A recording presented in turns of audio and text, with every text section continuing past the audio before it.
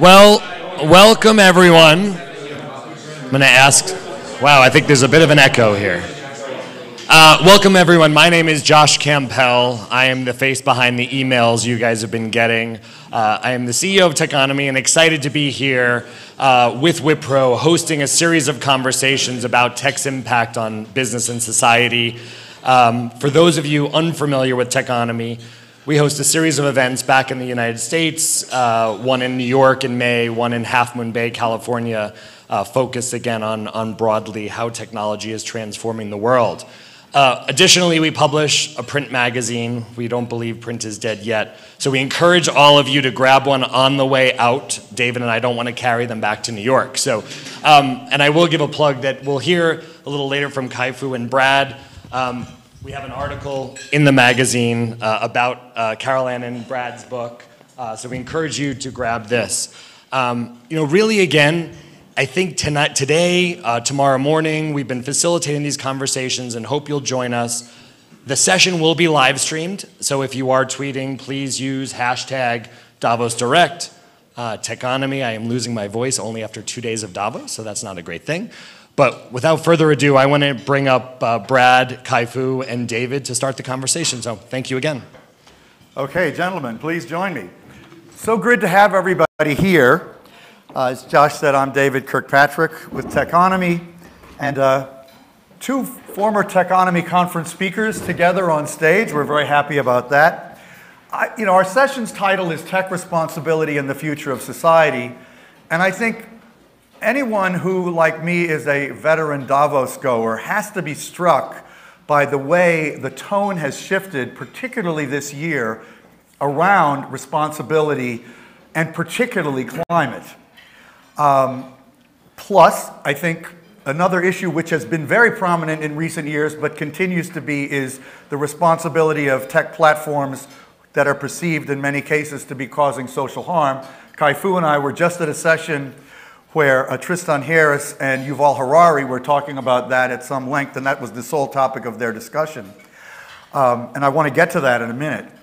But to start, I wanted to ask Brad to talk about this extraordinary announcement that he spearheaded for Microsoft last week uh, to say that not only would it continue to be carbon neutral as it has been, but to take this extraordinarily responsible step of saying Microsoft was going to become carbon negative essentially suck up all the equivalent of all the carbon its existence has ever led to, and then going forward continue to be carbon negative going into the 2050 timeframe. That really has to be said as a extraordinary responsible act. And so how did it happen? Why did it happen? And, you know, thank you. Um, well, you're welcome. We did it for you, David. Uh, you did it for all of us, I'd say. Um, well, first I have to say, uh, having spent a lot of time over the last few months on this issue, um, it was an extraordinary education for me, and to some degree, I feel like you know, there's an extraordinary uh, educational opportunity and really need, uh, you know, more broadly for the world. Uh, you know, today, uh, humanity emits more than 50 uh, billion uh, metric tons of greenhouse gases every year. Um, you know, we're going to have to get that down to net zero, certainly by 2050, if there's any hope of constraining the increase in temperature on the planet.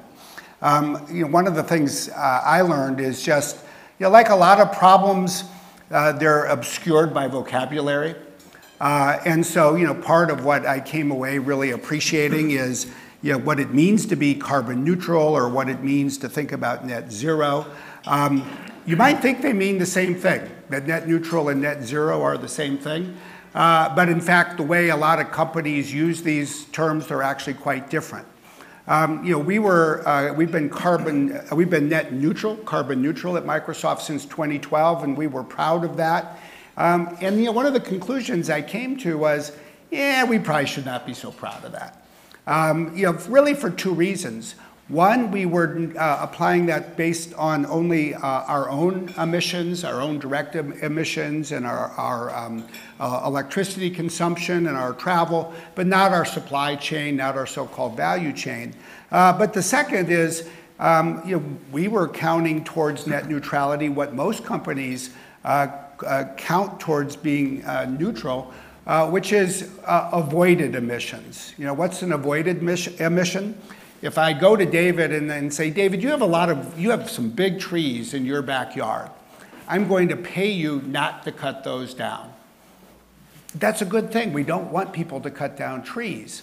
Um, and that you know, would avoid a loss of certain carbon emissions, and then that would be counted towards being neutral. But we're not going to solve this problem by paying people just to do nothing. We've got to do something.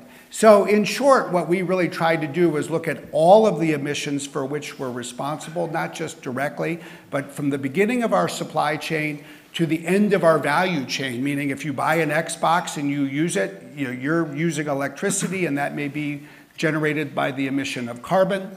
Uh, we would stop talking about net neutral. We would get to net zero, meaning we would actually actively remove as much carbon as we emit across all of that, and then we would keep going farther. And you know, as you can imagine, it's one thing to have a big goal and say you're going to commit to it. It's quite another to have a detailed plan that gives you confidence that you can meet that goal, and that's really what we work to put together. Have you been surprised at the impact that that announcement has had? Because it really has, I think, generated an enormous amount of attention and, and, uh, and respect. Um, I haven't been surprised, but I've been pleased, and I will say, as much as anything, we really made it a goal to try to start to change the conversation. Um, not by anybody saying, oh, isn't it nice that this one company is doing something good? You know, our, you know, there's other companies that have got, done great things. There are other companies that will surpass us. We will learn from them, and we will all make each other better. But more than anything, we really just wanted to, to you know, as I'm sort of trying obviously to describe here, um, broaden the dialogue so that we all raise our ambition. And we can't actually do that unless we have a common vocabulary and then ultimately a common way to measure how we're doing. Yeah, thank you. Um, I, you know, Kai-Fu and I were just at this session I mentioned, and as we were walking back over here together, um, we were talking about this question of what happens. What do you really do about Facebook and Google's information impact, especially the negative parts of it, which is most pronounced with Facebook and YouTube. Um, and before I ask the question, Kai-Fu is an AI leading thinker, computer scientist, and investor now in Beijing, but he's worked at Apple, Microsoft, Google, and now running his own investment firm based in Beijing and wrote this great book called AI Superpowers China, Silicon Valley, and the New World Order. But he was suggesting some ways that this problem of political disinformation and fake news could be remedied. And interestingly, when I want you to quickly talk about that, but the thing that I found so great was you could really summarize the way you were thinking of it as those companies ought to think about disinformation the same way that Microsoft is thinking about carbon that they need to not only stop doing it, but figure out ways to suck up its failures that have been cumulative so far. So anyway, what would you say, Kai-Fu, you think, when you look at this landscape, having been a practitioner for so long, global perspective, what's going wrong and how can we fix that? Uh, I think what's going on is even worse than people's fears right now because uh, we have this, in addition to the issues of the ability to target specific people, um, and, and you know, this information has always existed, but now with AI, it can be targeted differently depending on each person. And it's furthermore linked to the company's profit and bottom line. So even if companies wanted to say, well, let's be more responsible, every change, every tweak causes them to, to make less money, so it's more difficult to do. Um, another issue is new technologies are also being invented for further uh, misinformation deepfake being the most prominent. And it is my belief as an uh, AI practitioner that deepfakes, uh, it'll play out, right? People are trying to catch deepfakes, there are more of them, prevent them. It is my belief that in five or six years, they will be uncatchable.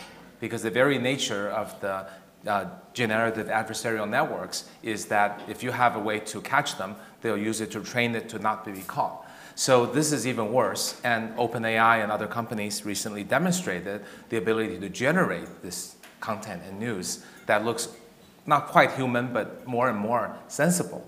And imagine in the future if the machine, if some evil company, I mean, Google and Facebook wouldn't do this, but if some bad company or entity would target each individual by generating a specific um, content that hits the vulnerability of that person. So those are all the issues down the line. Uh, how to address it, uh, I, am actually more of an optimist than uh, Tristan and um, Yuval on technological solutions.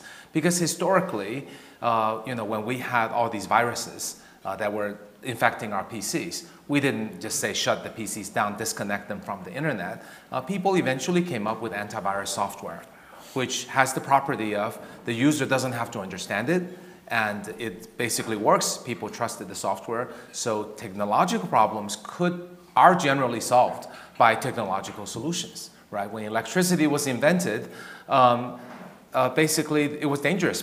People could get electrocuted at home, but then people invented circuit breakers. Then they became safe. So I like to think there will be circuit breakers and antivirus software for, um, for, the, for, for the, this kind of issue. Uh, for example, uh, using um, different types of um, federated learning so that your data is not necessarily uploaded uh, while the AI benefits can, can, be remain, can remain uh, or homomorphic encryption and derivative technologies that, that en encrypts what you, you, some of your information. So those are things people are working on. They may or may not work, but if we have a system where people are innovating, that could work.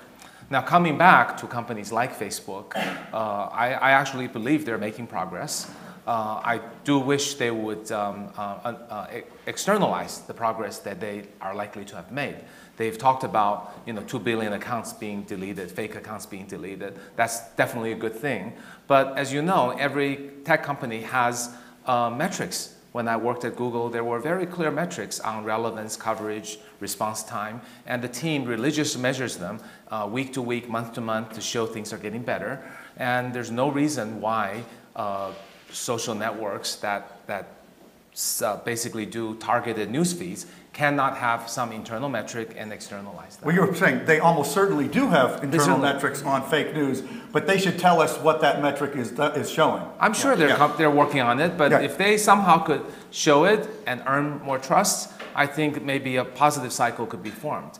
The other solution I could imagine is that I think the temptation today for, for companies that uh, make money by eyeballs is how can you resist the temptation to target um, each individual by causing them to click more because every click and every minute causes you to make more money.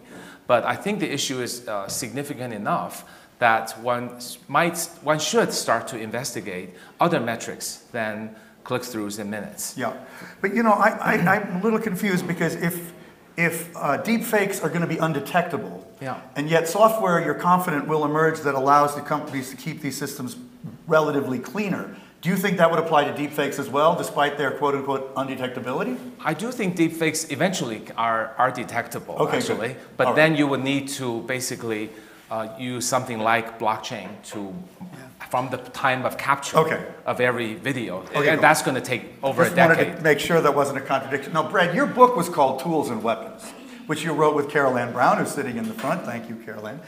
Um, you called it that. Just say why you called it that and tie into what Kai-Fu was just talking about. Well, I think I know it, it's relevant. Yeah, it's obviously digital technology uh, has long been a very valuable and important tool. It's helping us do all kinds of great things around the world, and it should continue to do that. But it has been weaponized, um, in some cases, almost literally as a weapon for cyber attacks. Um, but also more broadly, it's, it's, you know, we, we live in this age of anxiety, and when you really think about what people are worried about, a lot of it is you know, something that is grounded in technological change. Uh, I think that you know, that combination of labels you know, certainly fits when we're talking about the challenges to democracy. Um, Which I, you write about a lot in your book. Yeah, I mean, I, I think we have to start by recognizing um, that roughly half the world's population lives in one of the 76 nations that The Economist at least qualified and classified last year as a democracy. Um, and, and yet, you know, democracy, I think, is less healthy. That's what The Economist concludes, and in many ways, it's under attack and under threat. If you think about the, this description that we just had, I think it really you know, helps us define some of what we need to do to protect democracy. Uh, we have these three kinds of attacks that we have seen. One is really hacking uh, candidates, campaigns, weaponizing email as a result. A second is potential attacks on voting systems, voter rolls, and the like. And the third is disinformation. And you know, the, the, I think this point on measurement of disinformation uh, you know, is especially important because in some ways it's the most amorphous. And certainly deep fakes are sort of like the next generation of technology uh, when it comes to being able to engage in disinformation. Um, but we have these two other aspects that I think go to uh, really what is uh, at the foundation of what one needs to have a healthy democracy. Um, one thing we need that I think we're going to have to talk more about is healthy journalism. You know, it really is, it's the fourth estate for a reason. And, and let's face it, journalism is less healthy today because technology has disrupted it. And I, I, think that's one of the big questions for this decade. But the other thing that is interesting, and, and, and you, you get at it when you talk about targeting. Yeah, I think democracy doesn't obviously require that everybody have the same opinion. People don't. But at a certain level, it does depend on people having common exposure to the news of the day, to the facts that are being debated. Um, and in most countries, you know, that happened through what was a relatively limited but hopefully robust you know, number of newspapers, magazines, television networks, what you will. But with business models that encourage very precise targeting of people based in part on what they believe, you end up creating what you know, we sort of refer to as cyber tribes. You know, in one circle, you're reading and hearing about one thing. In another circle, you're hearing and reading about something else. And you know, one of the best measurements so far actually came in a very interesting way. In the United States, the Senate Intelligence Committee used its subpoena power to get the inside data from the social media companies, and then it was able to provide that data to a group at Oxford University and a New York data analytics firm, and they've done some of the best measurement. But one of the things it showed is if you remember when there was the controversy in the United States about a speech that President Trump gave in Alabama about Colin Kaepernick and the NFL, um, there were two hashtags in the first 48 hours. Uh, one was sort of, you know, pro-Trump and the other was pro-Kaepernick. Well, a majority of both hashtags in the first 48 hours emanated from postings that came from Russia. Hmm. And you know, so you have to figure out how to address that, but more broadly, I think it does call into question whether fundamentally is democracy served by such precise targeting? And if democracy is not served, and if democracy is not healthy, what do we do about it? That's a big conversation that I think we're just beginning to consider. Is there any possible, you know, Microsoft's scale and wealth is so substantial and your level of responsibility, as evidenced by a number of recent actions, is, is pronounced. Is there any way Microsoft itself could get involved in that? In, in you know, technological antidotes, sort of of the type that Kai-Fu was mentioning? I mean, do you guys preclude that sort of thing or not? No, I mean, first of all, you know, we're obviously a very diversified company. And as with any business that's diversified, you know, in some places your business is bigger, other places it's smaller, some places it's more of a market leader, in other places it's not. You know, in the social media sphere, we obviously own LinkedIn. So we get some direct exposure to that.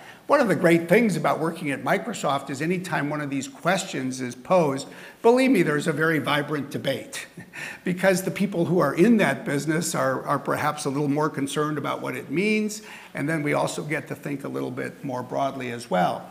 Um, you have but, a culture of arguing also. Yeah, and that's hopefully evolved to more of a, a, a culture of, I'll just say, listening as okay. well as you know, debating. Um, but you know, to take a very practical example, and I think you know, Kai-Fu uh, rightly alluded to it, um, I think we should be pessimistic about the ability of technology in the long term to be able to detect deepfakes. We shouldn't be. We should be pessimistic about technology's ability to detect deepfakes, but we should be optimistic about technology's ability to protect legitimate media in new ways. Okay. Think about paper money. Anybody with a reasonable bank account, you know, can probably find a way to print uh, uh, monies that would be indistinguishable to us. But as a result, there's all kinds of technology now, in effect, literally woven into the currency, the paper, and that is very hard to fake. And so, in the same way, you are going to see what, I, what are so-called media provenance ecosystems, so that if Techonomy is, as it is, filming this and, and broadcasting it, you know, there will be something embedded in the digital data that will be next to impossible, one would hope, for someone to tamper with. So, so that's an innovation we need. Exactly. So, you know, one of the points that Kai-Fu makes in his book and has made elsewhere is, you know, we, we shouldn't assume that technology can completely solve every problem, but it is a fundamental tool to counter the weapons. Another thing that I'm struck at this year's Davos uh, uh, regarding technology is, and, and you're both real long-term thinkers and experts on AI, you've both written a lot about it in your books, is this question of bias. And the presumption more and more people are expressing and, and, and wringing their hands about that the, in general, the AI systems we have today that are being pointed at humans are in general biased. That is being said very widely here at Davos by some simply because they're predominantly created by men, which is a logical point. And there's other forms of, you know, uh, diversity uh, deficits that basically other people point to. I'd like you both to comment on that. Is it as serious a problem as many people think? And, and how do we, I mean, is it just a matter of more education, more hiring pipeline, you know, more corporate enlightenment to hire more diverse teams? But, and, and is it realistic? I want to hear all of it. uh, it's a rather complex issue because I, I, I, personally think it's not as bad as people are, as what people are saying, but it could be a lot better. Uh, why is it not as bad? Because I believe people are a lot more biased. Right? We are all familiar with the study that Isra- about Israeli judges, right, who are harsher when they're hungry right? You know, AI systems aren't going to be hungry. Uh, and, and AI uh, systems are outcome trained. So AI is less biased in some ways than people. Well, that's what you're saying. Well, no, no. Uh, well, I, I actually believe that, but it's case by case, right? AI is trained by outcome. So, for example, a bank that gives loans, basically you train it by giving loans to people who look like people who pay back and who don't look like people who default. So that ought to be fairly objective and not biased. But at the same time, what if gender or race or age relates to the correlates to the likelihood of paying back? How do you deal with that? Um, but I, I, believe there are solutions to deal with things like that. Uh, for, for example, uh, we could remove the elements that we don't want it to consider, that in our opinion is, has bias that the society doesn't tolerate. Uh, such as gender bias or racial bias. So we could remove those elements. The other thing that could and should be done for the longer term is uh, there should be ways to debug AI programs for bias uh, or for insufficient data. Just like you know when uh, when I compile a program, uh, it would say, hey, this part is likely to have. So that's a function that needs to be invented. It's not that hard. Does it exist now? It's not hard. Basically, you just uh, do holdout data and test it and see how well the coverage is and check the number of data you have compared against parameters. There are lots of, one could create a tool that gives warning but then you need to train the engineers to embed the um, focus on, on that. Well, you also they... have to alter the culture to put a value on creating the tool. So, yes. you know, and I will say, Microsoft, I believe, is the only one of the major tech companies that has publicly said, you've said, that you have refused to sell certain AI facial recognition systems to certain police agencies because you were quite certain they would be applied in a biased manner. Um, so you have identified it and talked about it publicly. Do you agree with Kai-Fu that we can sort of technologize our way out of this problem? Yeah, I, this is an area where I think there is substantial cause for optimism. And look, I hasten to underscore, Kai-Fu is an expert on AI, and uh, I have learned a lot by reading what Kai-Fu has written. And you're a lawyer, we know that, but you are the president but, of Microsoft. But, but, but the interesting thing is, the first thing you can say about bias is ultimately, it actually is in error. You know, basically, when computer systems make decisions that you know, we would qualify as biased, it often means that they are identifying someone as actually someone they're not. Um, and when we talk about facial recognition, for example, uh, having bias uh, on the basis of gender or people of color, what we're really saying is it has a higher error rate for identifying people from those population groups.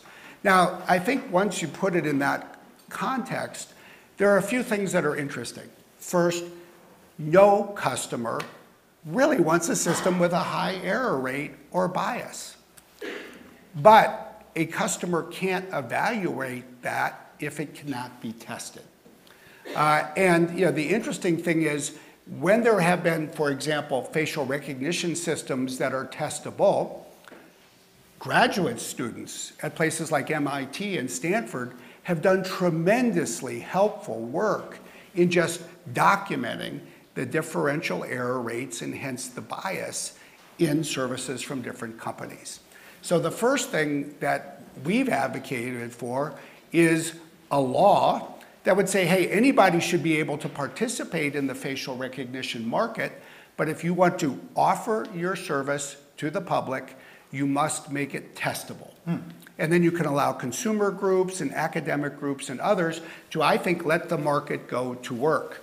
Now, then ultimately, and, and, and Kai-Fu has identified this in various settings, part of the solution then is in getting better data sets, because one of the causes is of bias is data sets that are incomplete, or I'll just say less comprehensive for certain populations.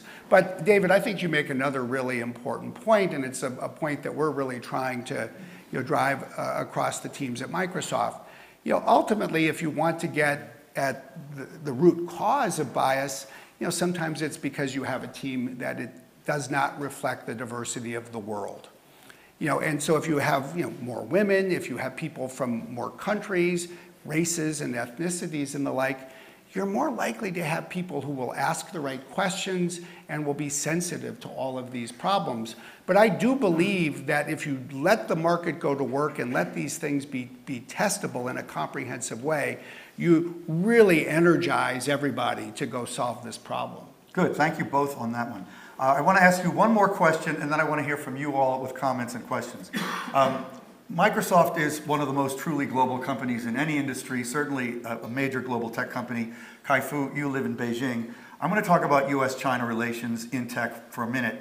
Uh, I actually once went to China with Bill Gates and saw how revered he was there. So I know Microsoft, and I wrote a lot about Microsoft's operations in China, which have been quite extraordinarily successful. But starting with you, Brad, how do you see the current state of play? Because a lot of hand wringing is happening around the, the future of that relationship. Um, for example, I heard someone here at Davos say um, that Trump has essentially incented China to develop all its new technologies that have formerly been supplied by the West by his threats of boycotts and his, his sort of fitful uh, regulatory moves. Um, and now they've got they've woken up to that, and so now we've really shot ourselves in the foot as the U.S. that we're never going to have some of those markets in the end, and I think even Microsoft could be negatively affected by that. But how do you uh, do you worry about that relationship? Well, they're the two largest economies in the world. They're the two probably most powerful governments in the world, and everything they do is going to affect everyone in the world.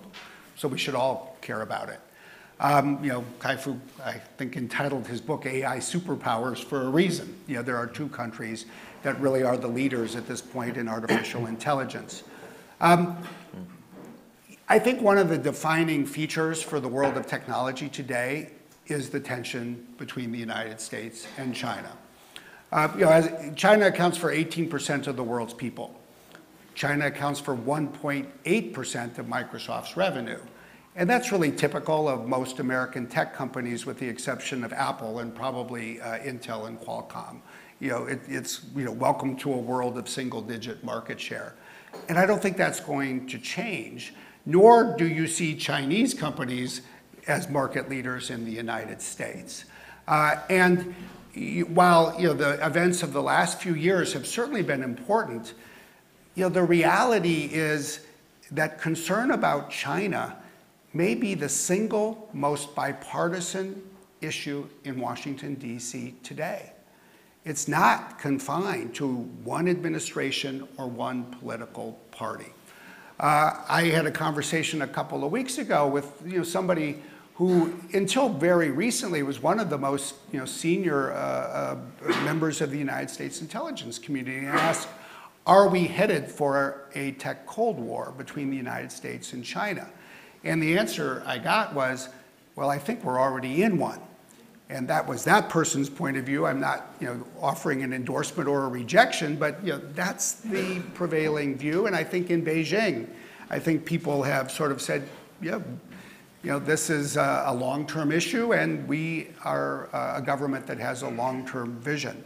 So, you know, fundamentally, you have this question in the United States and China. Uh, what does this tension mean? And I think in the rest of the world, and perhaps especially Europe, the question for Europe is how do we manage this? Um, how do we think about each of these two countries and our relationships uh, with each? And how do we navigate it ourselves? with a view to protecting the national security of our information, to ensuring that we have uh, access on a sustained basis to supply of technology, and how do we navigate it in a way that creates economic opportunity for our own businesses, our own startups, our own industries of all sorts. So it really is, I think, one of the defining features of the decade ahead. Hmm. Kai-Fu, you did subtitle your book China, Silicon Valley, and the New World Order. That's a pretty big picture statement. Um, how would you characterize that New World Order right now? Um, so first, in my book, the point that I was making is that China has come to its own on the technological progress and is likely to be not only successful within China, but also begin to be quite successful in developing countries, with the U.S. naturally continuing to be uh, dominant in the developed countries. And that was the trend I predicted without considering the geopolitical uh, China-US issues. Now, with those issues, so, so I think in my book, I was looking at a globally competitive market, more countries, more people with more choices, and that is a good thing for the world. I, I did not, I certainly was not making a point that uh, we should have two completely separate universes with no technologies being shared. And, and I think um, the recent um, uh, measures from DC um, make, makes it uh, more difficult to have that shared platform. And I think I understand the competition, a lot of arguments, and, and the, but what's important is that uh, for users and for developers and for customers and other governments, uh, I, I, think more, more options is a good thing, and also a, a um, uh, accessibility of both technologies from both countries will lead to better prog progress. So I hope the current sentiment that Brad describes doesn't uh, force or cause a faster separation into two completely parallel stack technical stacks. That really isn't going to be good for the people or for the world. Okay, and I, I do want to go to the audience, but yesterday at lunch, your boss uh, and colleague and close partner Satya Nadella uh, and Larry Fink, uh, as well as Jennifer Morgan of SAP, were interviewed at a Bloomberg lunch. And, and both uh, Satya and, and uh, Larry Fink made some very interesting comments about China. Uh, first of all, Fink said, contrary to the general view, I think, that he believed China would be more integrated with the rest of the world in coming decades because it will increasingly have a need for external capital. And as you need, it, it, the more foreign capital flows into any country, by definition, the more integrated it becomes, which was, that's not the conventional view, but he knows a lot. So that was interesting. On the other hand, Satya said regarding this issue of um, tech competition that the more distrust there is, the more it has an impact of slowing global growth generally, and that's really negative. So I just wanted to briefly mm -hmm. mention that. Well, if Eric Brynjolfsson has his hand up, he gets the first question or comment. No, of course there'll be a question, but, but there's a bit of a comment first. So for, first, congratulations, uh, David. This is the, the, most thoughtful discussion of technology and the economy that I've heard here at Davos, so I'm not surprised. Kudos. I Thank want to pick up on the very first thing. Another speaker at Techonomy. uh, one, one of the first uh, uh, things you brought up was this question of, of, fake news, and I really like the analogy Kai-Fu was making to pollution as an economist. I think that's a great way to think about it. You know, there's externalities. People are imposing costs on other people that they aren't bearing. One of the reasons pollution is a problem is we don't trace back the cost to the people who are creating it. We're trying to fix that with carbon pricing. But you both touched on a possible technological solution, which is you know, content provenance. And my question for you is, why hasn't this happened long ago? You know, with, with uh, public key cryptography, uh, we were able to, when I send my credit card to Amazon or whoever, that's all secure, secure sockets layer. We know that that's the real Amazon. There's a public mm-hmm. key certificate that verifies. I'm not, I don't have to worry that it's a fake Amazon. Why does the New York Times, Techonomy, uh, Fox News, why don't they all have certificates? And I'll mostly focus uh, to Microsoft because you can create this kind of infrastructure. You did with commerce. And why are we waiting for, for that to happen? What's, what's the holdup? I don't think it's the technology. A great question, and um, you know, I think whenever the someone diplomatically asks, you know, why didn't we get smarter sooner? Um, you know, it's probably a reminder that we should have gotten smarter sooner. Um, but I, I well, would. Yeah, and, and I, I, think that you know I, I, would you know I'm just sort of thinking aloud in all honesty, but I, I would point to two reasons.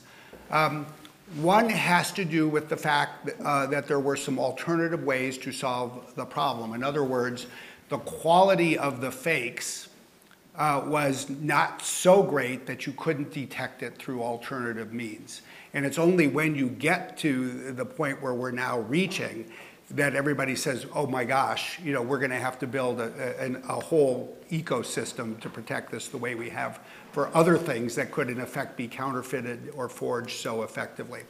Uh, the second is, as always with markets, um, you, you, need uh, a certain number of customers to say, you know what, this is something we care about care, and we care enough uh, to actually invest in helping to create it and then we'll deploy it. And you know, right now, uh, I just think that the news media is at a very interesting point.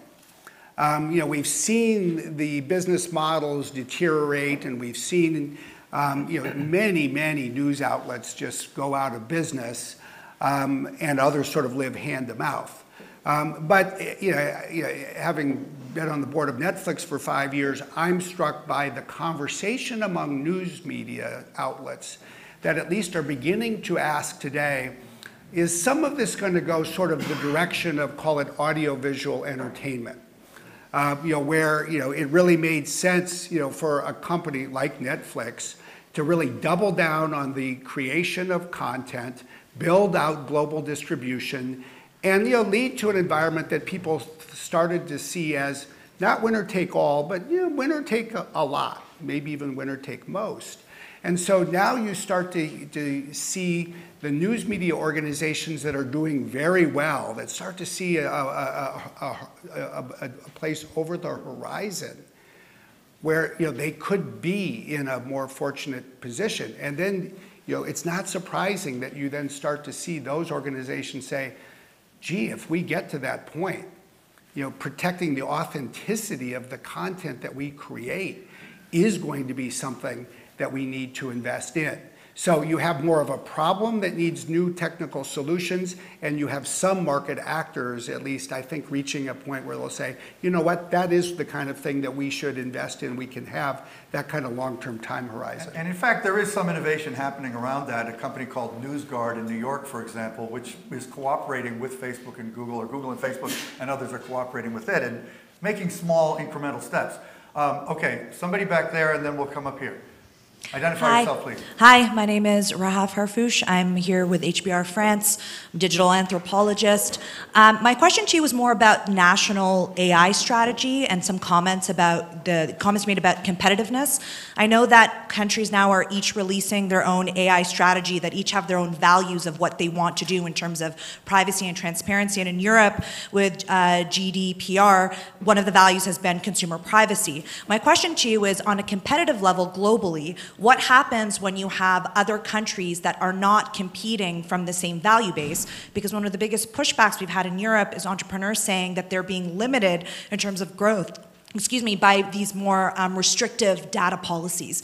So instead of the, my question is, we talk a lot about AI globally, but what happens to the integrity of the strategy we're trying to implement if the competitor that you're dealing with on a national level, one of the largest superpower AIs, uh, AI superpowers, is themselves playing by a different set of values? I guess you're asking me. Okay. uh, actually, actually, Brad and I, another role we play, we're the uh, co-chair of the AI Council of the World Economic Forum, and in it we talk about uh, different uh, AI um, uh, data policies and AI ethics, and and actually I'm involved in the uh, basically the, the the development of not the AI strategy itself, but the AI data policies and ethics in China. And I'd be happy to share the document with any of you who would like to see it. Uh, it's in the process of being finalized, but there are versions that have come out from the Beijing government and from the Ministry of Science and Technology. Uh, if I just gave it to you without describing where it came from, you, would, you would have a hard time differentiating it from the European document, from the Microsoft principles, from the Google principles. So I actually think there's a much greater set of commonalities among countries. And I think the challenge now is how to turn those principles into uh, enforceable realities. So I actually think um, most of the governments and most of the people want very similar things. There are some differences on uh, how national strategies executed, how they're funded, uh, whether they, they, they have um, uh, real uh, muscle behind it. Though that I think I would separate those issues on the effectiveness and determination to be successful in AI. That's one issue. Uh, and then separately, what are the uh, basically lowest common denominators that we can find among countries? I'm actually optimistic we'll find a reasonable uh, large subset among countries. And I, and I, would just say I would build on what Kai-Fu uh, said, and then there's probably a piece where I might have a slightly different point of view. First, think about AI uh, policy, strategy, or ethics horizontally as a set of principles uh, around avoiding bias, accountability, having transparency, privacy, safety, and the like.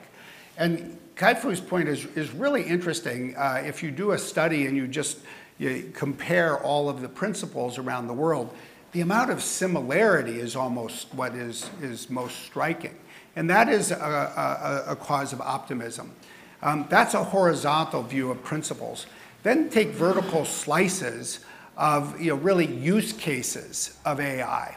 Um, there are many that are not controversial and where you really won't see divergence, and there are some that are. And you know, the first use case that really is the uh, source of controversy around the world is facial recognition. Uh, another one is, is perhaps around you know, the military and lethal autonomous weapon systems and the like. Um, but you know, facial recognition is sort of the flashpoint today. Um, and it's a flashpoint in part because we have these issues of bias, but I think more broadly and, and more long term, it's going to be a flashpoint because of the role it can play in surveillance of populations and its use by governments in a manner that can chill or threaten the right for people to assemble peacefully and express their views. So you naturally are seeing and probably will continue to see governments diverge in how they think about using facial recognition in that way. And then go to the last point that I do think, as an American company, is important. We will not provide our facial recognition service so that it can be used in a manner that can undermine fundamentally the right of people to assemble. And we have turned down opportunities to provide our facial recognition service to do that. And every time we turn one of those deals down, we deny ourselves the opportunity to collect data that would make our technology better. But I believe it's actually more important for us to serve democracy than to advance technology in that way. We will compete across Western Europe for cities, for capitals, for countries, for facial recognition. And there will be days when we compete with companies that come from another part of the world that are serving those authoritarian opportunities. And it is the governments and people of Europe who I believe will decide do they care enough about this fundamental aspect of democracy to make their purchasing decisions based in part on it? I hope the answer is yes. Well, I, I want to just say one thing about that. At the DLD conference in Munich over the weekend, um, there was a Chinese journalist who was working for a government affiliated entity who, who actually said she had seen considerable signs in China of citizen pushback against some aspects of facial recognition use in China, which was pretty interesting to hear that said. So please identify yourself. I'm uh, Jonathan Rouach from a company called QEDIT, and I think sitting smack in the middle of those two power, uh, uh, powerful uh, countries. So we're based in Tel Aviv, uh, and we're a bunch of cryptographers doing very advanced cryptography for uh, you know privacy-enhancing techniques. You talked about homomorphic encryption. There's zero-knowledge proofs. Uh, all of which are useful to track information, uh, supply chain, and uh, so technologies that are very relevant to solve some of the problems that uh, you've mentioned. And sitting at, in Tel Aviv and having investors both from you know, the US and from China, uh, Ant Financial on the Chinese side, VMware on, on the US side, uh, are You we are in the middle. Go on, Are yes. we, right, smack in the middle. Are we forced, we, will we be forced to choose sides? Uh, th- this this uh, question about Europeans having to pick between you know the, the goods and the bads, uh, and th- this technology being relevant for preserving privacy, even you know on, on the Chinese side, are we heading towards a place where companies that are not one of those superpowers need to pick sides? I don't know whether you will be forced to pick sides, but I think everyone who is creating technology that impacts people's fundamental rights and you know, the enormous advances in, in, in cryptography are among them, must decide what values you want to uphold. I don't myself believe that the world is best served by companies that say that we're prepared to be the arms merchants for the future and we're not going to think about values. So I'm not here to say, you know, pick the ones that I advocate or that someone else advocates, but I am here to say I hope you'll think, and I hope that every company, everywhere, will think about how technology is impacting values that we would argue are timeless. And as much as we care about technology, I might argue that we should perhaps care even more about democracy, about people's fundamental human rights. And you know, in, a, in an industry that was built by computer scientists and engineers, the future is about multiple disciplines. Um, you know, one of the great things that Steve Jobs said, in my view, was that he worked every day at the intersection between engineering and the liberal arts. I think all of us work at that intersection today. Wow, nice way to end. Um, I'm glad this was a very meaty conversation. So thank you to both of you, Kai Fu, you. Brad. Uh, Thank you very much to Wipro for hosting this event. Uh, we hope you'll come back. We have another breakfast tomorrow morning at 7 on technology and healthcare with one of Brad's colleagues, Greg Moore. Um, keep, enjoy your Davos. Thank you so much. Thanks again, guys.